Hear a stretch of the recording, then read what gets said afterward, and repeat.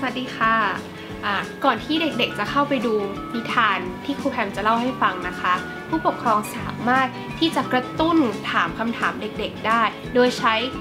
WH question อย่างที่ครูแพมได้ขึ้นมาบนกระดานนี้ เพื่อเป็นการ